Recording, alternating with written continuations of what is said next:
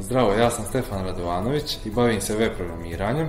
Na Akademiji 387 upisao sam kurs za Angular, jedan od danas najtraženijih i najpopularnijih frameworka za JavaScript. Kurs je zaista ispunio moja očekivanja, čak ih i nadmašio. Po završetku ovog kursa dobio sam priliku za intervju u kompaniji Dos Amigos e, koji je odlično prošao.